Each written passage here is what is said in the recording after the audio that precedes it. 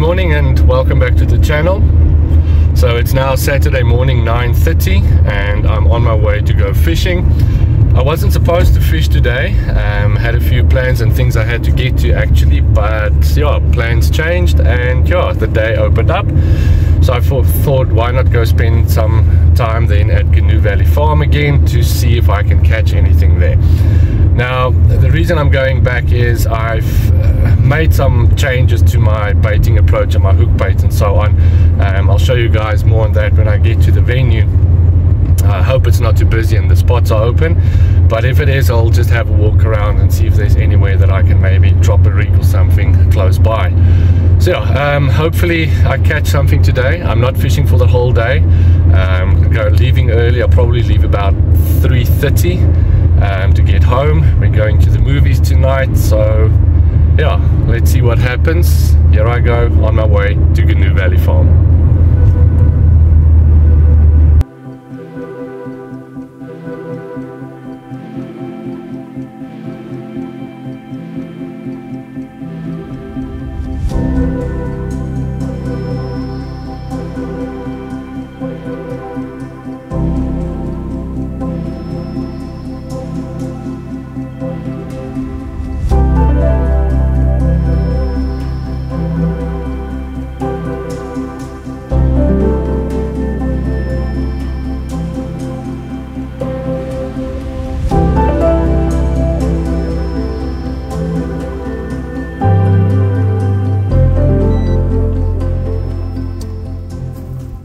Okay, so the rods are finally in. Um, when I got here to the venue, my usual spot, um, there's bass fishermen set up in my spot and they in and out with the pontoon there the whole time. So I'm not going to go in between them or anything. I'm respecting them. They've, they're in the spot, even though they're not fishing in that margin spot, but it's fine. Um, so yeah, had a long walk around. Um, started off in the right-hand corner on the other side and yeah saw one of the koi's there and some smaller carp as well but there's not a lot of open spots. So yeah it makes it a bit difficult. And the ducks are also always in that corner and i know they're going to clean out my bait. So i had a walk around to the exactly opposite from where i usually fish. Now my rods are out here and i'll explain to you why now. So you'll remember in my previous video I showed you guys that photo of the guy that caught the uh, the big grass carp here. Now since last week um, I've actually met him in person. His name is Rudy. Um, he was actually a bit disgusted that I act, that I didn't show his face but I told him yeah but I didn't know you didn't have permission or anything. So yeah um, but here is his photo again. Now you can see his face. His name is Rudy. And then he was the guy that actually caught that big grass carp um, so yeah, so we had a, long talk about Canoe Valley and so on, and they were actually here the day just after me. So I was here on the Saturday, they came through on the Sunday.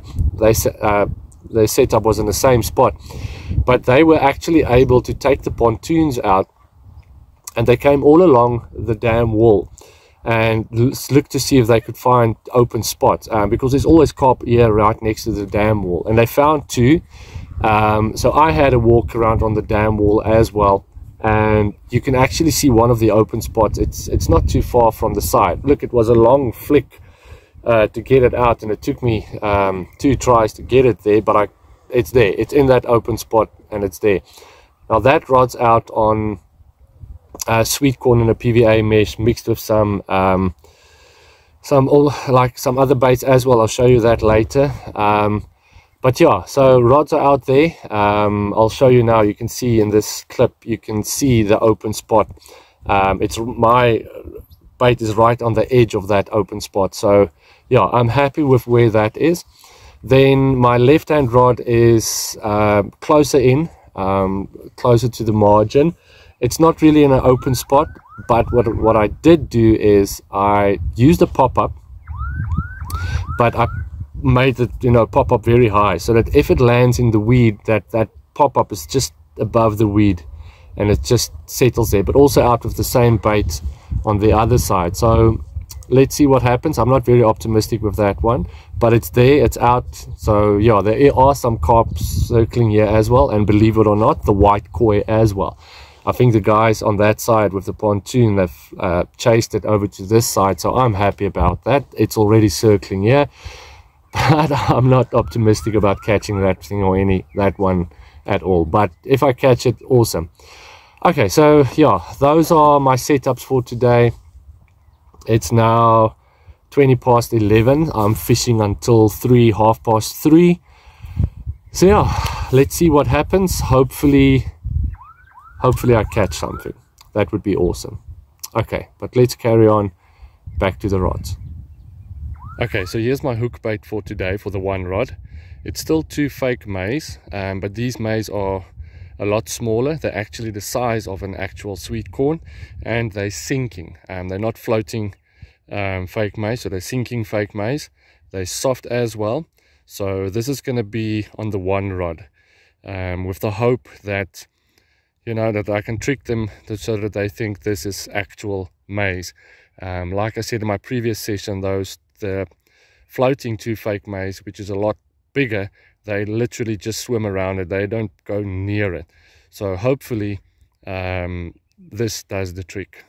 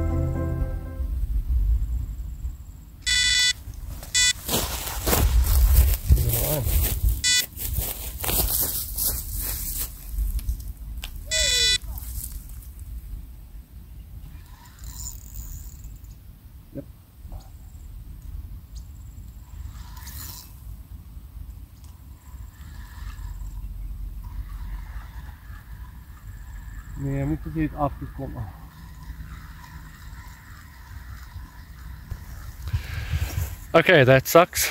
Um, had a run on the right hand rod. It wasn't a big take or anything, but it was on. Um, I could feel it tugging at the line and also see it swimming to the left, but then yeah, head shake and it came off. Um, that's unfortunate, but it happens. But yeah, okay, so there's it's now 2 p.m. So I've got about an hour, hour and a half if I push it. Let's see what happens.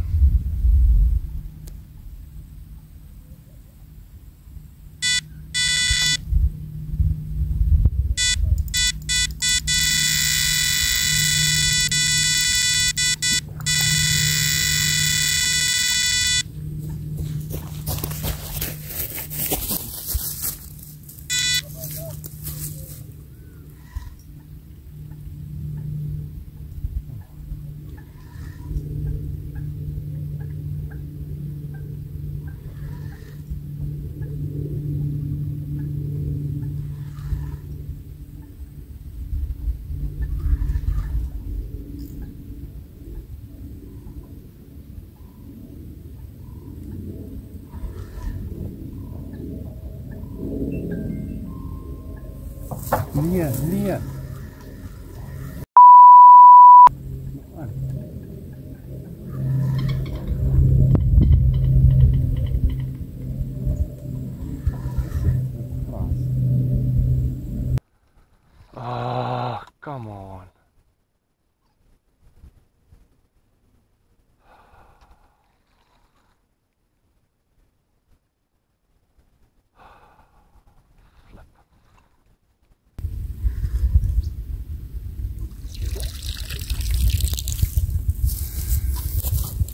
Okay, um, that sucks even more.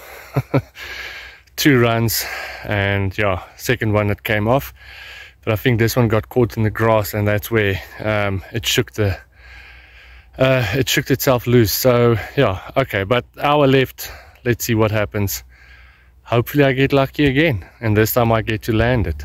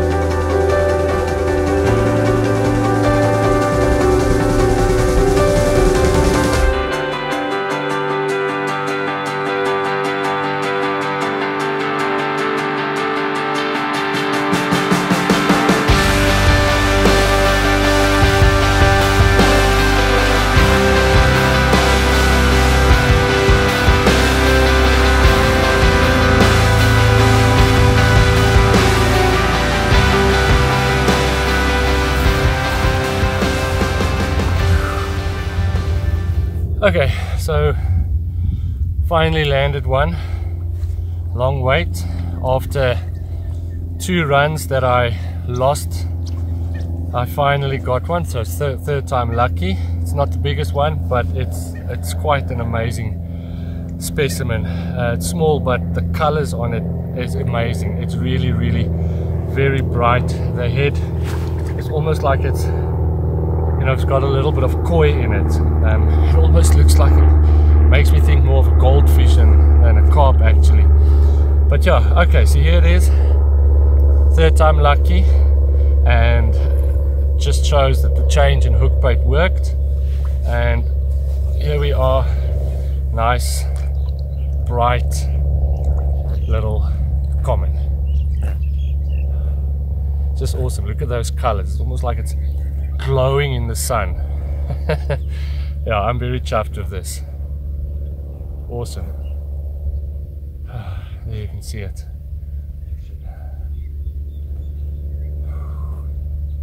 Okay, I'm just admiring it a little bit before I put it back. Ah.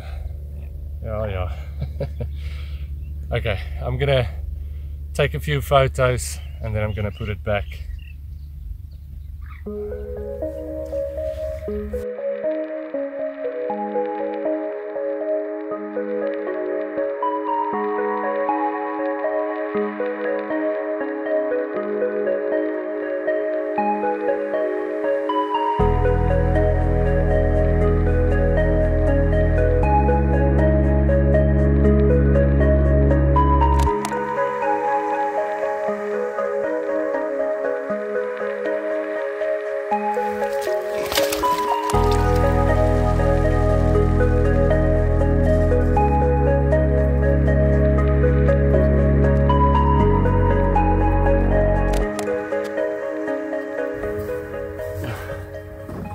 Yeah okay.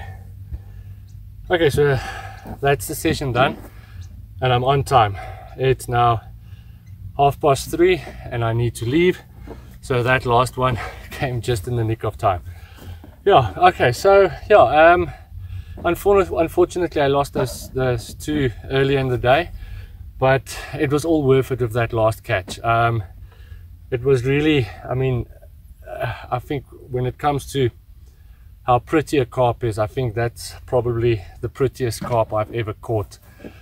Um, with the colors on that one. Um, it's not big, it's small, but it's fine. Um, it's just in anything I catch here at Canoe Valley, I'm more than pleased with.